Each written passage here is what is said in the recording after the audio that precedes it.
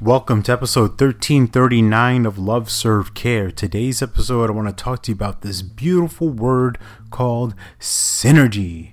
Let me say it for you one more time in the disco voice Synergy! That was kind of more of a Rick James version, but um, synergy. Let's look at this quick definition of it the interaction or cooperation of two or more organizations, substances, or other agents to produce a combined effect greater than the sum of their separate effects. Hmm.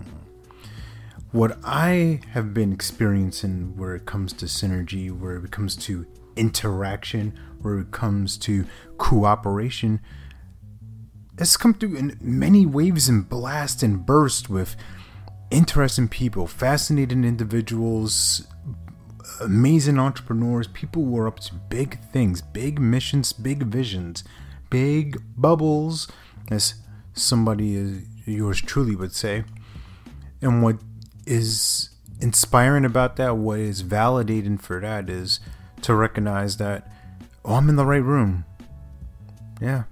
I'm in the right room. I'm with the right people. I am doing the right things. And I know I talk about not judging things as right or wrong, but let me just say it this way I am on the trajectory, the path that is going to enhance opportunities for more prosperity, for more abundance to to be experienced and, and welcomed into my life and to to radiate through me to other people, right? This is where it gets into the into the psychology of things the things that go through me go to you.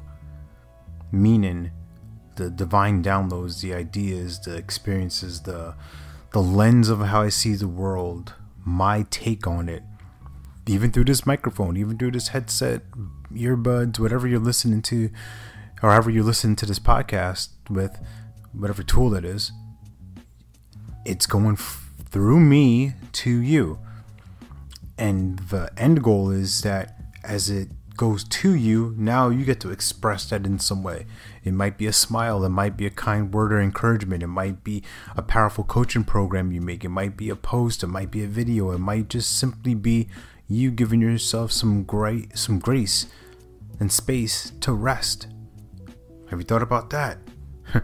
so synergy between two people, between two or more organizations or substances and, and I think that's the key word in this part of the definition too. Substance. People have things to to add, value to bring.